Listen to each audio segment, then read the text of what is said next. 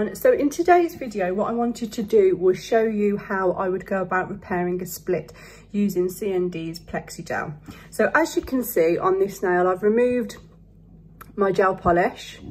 And as you can see, I have actually got a split that runs sort of from here all the way across to here. And I've actually got one here across to here where my nail bent back. This one here actually does lift away. I'm not going to do it too much because it is a little bit tender. Um, so as you can see, that completely lifts away. Now, if I had to, if I didn't have my plexi gel, I would have to cut that all the way back. And as you can actually see, that does go past my free edge and onto where my nail bed area is. So it would actually be really quite sore. So obviously what I can do to prevent me having to remove that nail completely is to pop some shaper on to fill in that split and repair that nail. Now, you will also notice if I turn my finger and my thumb to the side, where that nail has been bent back, you can actually see where it comes down and then it dips and then it lifts back up because it's completely bent backwards. So obviously by repairing these splits, um, obviously that will seal the splits together to stop it from breaking. But then what I'm also going to do with the shaper is just to build a little bit um, of an apex and a little bit of thickness to the nail there just to pop some shape back into the nail.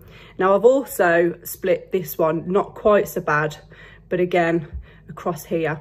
So I'm going to be concentrating on this one for this video and I'll show you how I would go about doing that. So to begin with, what you need to do is obviously make sure that your nail is completely prepped. Now my cuticle work has already been done on this.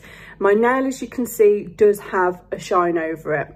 So obviously I've removed my gel polish um, and put some solar oil onto my nail just to sort of rehydrate. And as you can see now, there is a little bit of a um, sort of shine over the top. So we, we need to remove this surface shine because otherwise the plexigel and the bonder and the shape won't particularly adhere to that. So what you would do is you would get a nail buffer like this, nothing too coarse, and you would lightly go over it and all that would do is just remove that surface shine. Now obviously you want to make sure when you are doing it that you're not pressing on too hard and you're not sort of scrubbing over it. You're just going over it lightly and what that will do is just take away that surface shine, okay? So that nail is ready to have the product put onto it. You would then obviously need to remove any of the dust. So using your Scrub Fresh, or your whatever dehydrator you may have, whatever system you're using, you'd obviously just need to go over that. And again, just make sure that you've removed all the dust. And as I've said to you before, if you watch, you'll see how it just dehydrates that nail. Okay, so now you've prepped that nail, you're ready to go in with your bonder. Now it's always important that you always, always start with your bonder when applying any plexi plexigel because it does need a base to adhere to. And you obviously need to make sure that you are curing it in your CND LED lamp um, because obviously it has been tested to work with that so you will get your full cure on it. So with your bonder, you are filling in those cracks. So obviously my split was all the way across there. And it was also across this side, right on the corner. Now, when you put the bonder in, if it is the sort of split that you can sort of pop back in, then obviously pop it back in. Now, luckily for me, my split, it's it, obviously it's come all the way across, but it's not one that sort of popped out or popped back in. I sort of have to push it out of place. So actually, I don't really need to pop this back in. It's kind of already in place as such. It's just got it, it's just very weak across that sort of um, free edge. So as I say, I've kind of gone over that and that will sink into the crack both sides. And then as always with your bonder, you do obviously need to make sure you are covering the entire nail so that when you come to put your shaper on, you've got something to adhere it to. Just bear with me because I'm using my left hand for this and I am right-handed. Okay, so once you've covered your entire nail, you would then need to pop this into your LED lamp and you would put it on button. Now you can, when doing this, if it's a really, really um, deep split and it's one that does need to be popped back into place, what you could do is apply the bonder first to that split, pop the nail back into place, cure it for 10 seconds, then take it back out and then apply Bonder to the surface of the nail and then pop it back in for another 10 seconds and cure again. Now the reason I've just applied it to the split and then the entire nail is because my split, um, as I've mentioned, it comes, it, it has split across, but it hasn't sort of popped out as such. So it's quite an easy split to sort of repair really. So now that we've done that, what you would then need to do is come in with your shaper. So you need to apply two coats for this. So the first one, what we're going to do is we're going to float the first layer over the nail and we're going to concentrate on the area of the split. Okay, so the good thing about this product is it does self-level and it is a lot thicker in consistency. So let me just show you. So as you can see there, it is a lot thicker in consistency. Okay, so that will help to build up and help to go over that crack um, and give it a bit of strength. And then once we've done that, we can then come in and sort of, as I mentioned before, fill up that nail just to give it its shape back again where it's obviously bent upwards. Okay, so to begin with, I'm going to do, as I say, we're going to pop some shaper on and we're going to pop it over that split area. So scrape it all off the one side so that you're only using one side to work with okay? And as I said it is quite thick. So remember we're floating.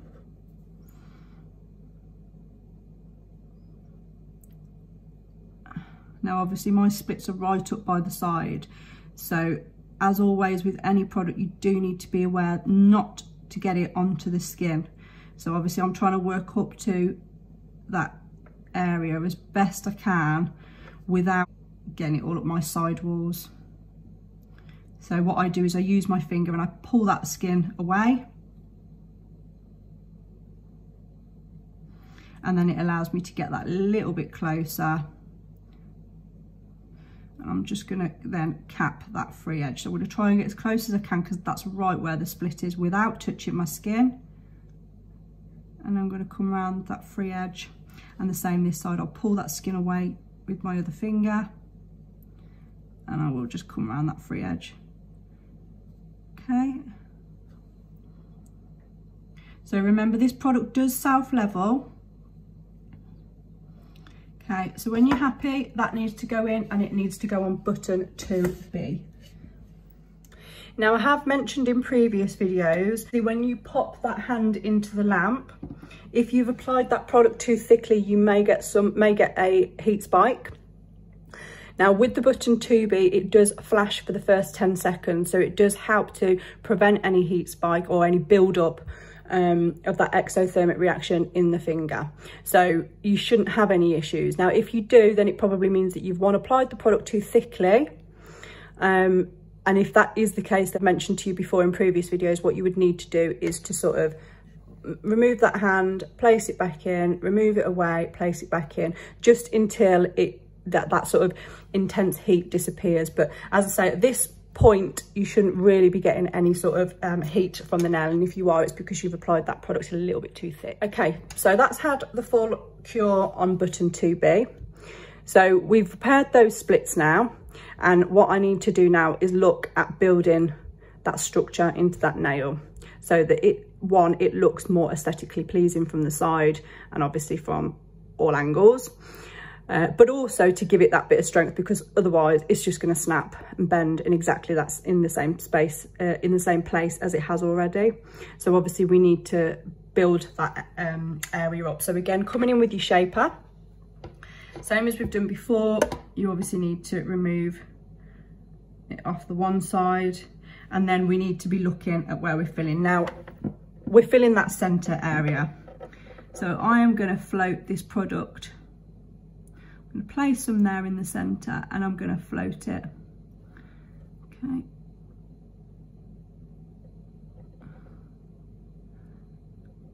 And you just build that area up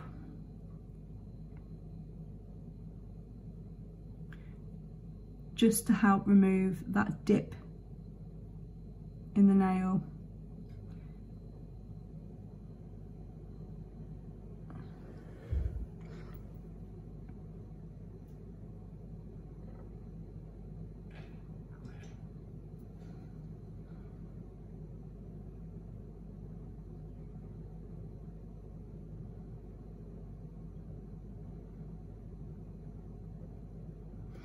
You need some more, go back in, get a little bit more. And again, I'm just gonna pop some more here just to build that area up from the side profile.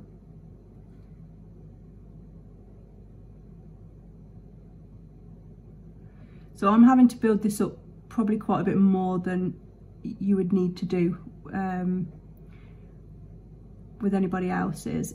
But as I say, it's because I've really flipped that nail backwards. Move that product where you want it.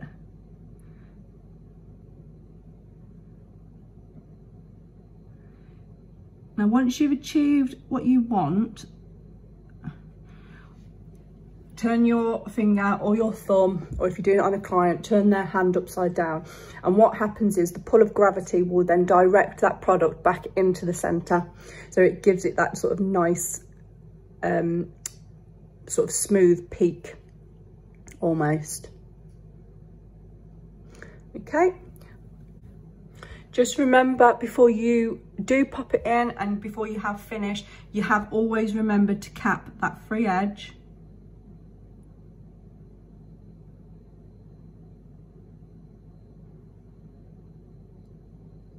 Before you go and pop it in. Okay. So remember, if your nail does need building up that little bit more, because it is sort of more uneven or you've, you've got more ridges or anything like that in it, you don't have to, to do the two coats. You can do thinner coats and then come in and do another one and build it up that way because obviously if you apply the builder too thickly and then pop the hand in for the two at the one minute, you may get that sort of heat spike. So just be aware of that when you are doing it. Okay, so that one has been cured now for a second time on button 2B. So I'm just turning my hand to the side so that you can see. So that has completely now filled in that dip. Okay, I'll just show you down the barrel of the nail. It's not too thick. Now, obviously it is thicker than a natural nail would be.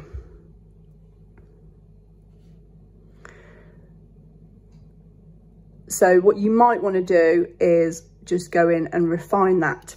Now, you might be happy with the shape that you've created. You might be happy with the apex. You might be happy with the, the entire nail. And if that's the case, then you can go straight in with your shellac colour. You don't need to remove that inhibition layer. Um, obviously, if you wanted to, that's absolutely fine. You can go over with your disperse and remove that sort of tacky inhibition layer and come in with your shellac, but you don't actually need to. And if you have got this on, you do not need to come in with the base coat for the shellac. Alternatively, if you don't want any varnish on this, you would then come in with your final step and that would be your protector top coat. So you would need to complete this um, step with your protector top coat if you were not going to be applying a colour over the top of this. And again, that will give it that sort of um, protection over the top and it will give it that really nice high shine. And again, your nail will be, it's a lovely clear effect. Now I am going to come in with the design over mine once I've done all my other nails. So um, I'm not going to apply a top coat and I do want to just refine this nail a little bit just because it's a little bit thicker than I would like on the ends so I am going to do that. Now, in order to do that, I do need to remove that tacky inhibition layer. So I'm going to come in now with my disperse. So I have just gone in and filed this nail and just refined it slightly off camera. I have used the NSI Jura files. Um, this one's a 180 and I've used this uh, I use these nail files just because I think these ones are much better than the other ones. They seem to last a lot longer. Um, and they are really good. You don't have to do quite so much. I mean, you'll tend to find with the Plexi Gel, there's not anywhere near the amount of filing that you would have to do with acrylic anyway, which is another good thing about the Plexi Gel. It does cut down your treatment time quite a bit. And again, you don't have to come in and refine the nails with the Plexi Gel like you probably would if you were using acrylic. So I'm just going to show you a little bit closer to camera now. So you can see where the split was. It started from there and it went to across to about here. And then obviously this side, same. So you can see that split has completely been repaired. So you can do that to the nail and it's not going anywhere. It's not breaking, it's not splitting, and you've completely sealed it all around the edge and all around the edge there. What you will find now is that the nail itself still looks a little bit on the flat side. Now, I'm just going to show you quickly how you would look at building a little bit of an apex on this so it's not completely flat because obviously having a completely flat nail will affect the structure and the integrity of the nail. So if you let somebody go away with a completely flat nail like that, the likelihood is that they'll probably end up breaking it again. So you do need to build a little bit more strength in that now. So we've repaired the split, which is brilliant. But now what I'm going to show you is, because a lot of people, what they do is when they build an apex, they start too far back. And so they have this big ledge here by the cuticle. And, you know, that's not what you want. That's not what you want. One, you put in the strength in the wrong part of the nail. And secondly, it doesn't look particularly nice. It makes the nail look thick and bulky. So what you need to do, and the, the way that I find the best way to find where your stress point is, because a lot of people are a little bit unsure, depending on obviously the length of the nail, you would, I find if you touch the end of the nail and you press on it, you'll see the nail change colour. You'll see the nail bed change colour. Okay, so it goes from being pink across here, and then when I press on the tip of the nail and push it down, where it changes, that is where your stress point is. So if you were to catch this nail or bend it, if you haven't got any strength in that area there, that nail is going to break. So you need to build this area here. You see? So you don't need to build it massively, but you obviously want to give it a bit of height there. And then that will give it that strength there. So it's not going to break. So what I'm going to do, as I've mentioned, you can come in again with your shaper gel. Um, you could use your builder if you wanted to, but I'm not. I'm going to come in with my shaper. So I'm going to pop a little bit more just in that area there, just to build it up. Okay, so let me just show you. So I've popped some of my builder, uh, my shaper gel just on that area there. Now, what you do need to be aware of is that whilst you obviously need to build this area of your nail up, you don't want to be building any thickness towards the end of your nail and you obviously don't want to be building anything there. Now the good thing as I've mentioned before with this product, it does self-level. So you shouldn't get any of those sort of ridges. Okay, so I've just popped some on and don't forget you can come in and refine it. Tip my finger upside down and then I'm just going to go in and pop that into the lamp to cure on button 2B. Okay, so that's had another cure. And as you can see now, that nail is no longer flat. I haven't built a massive apex because it doesn't need it. My nail is not overly long and it is obviously my natural nail underneath anyway. It's not an extension. So you can see now there's a nice natural sort of curve on that nail. So again, you could leave that if you wanted to and go in straight away with your shellac or you could refine it and I am just going to refine it just slightly. So hopefully that video has helped any of you wondering how you would go about repairing a split using your CND Plexi Gel. If you do have any questions, do pop them in the comments below. And as always, if you do find the video helpful, please do like and subscribe to my channel. And if you click on the notification bell, it will let you know if when I post any other videos. And as always, if you do want to follow my social media, I will pop a link below for you to follow those. All right, guys, thanks ever so much. Bye.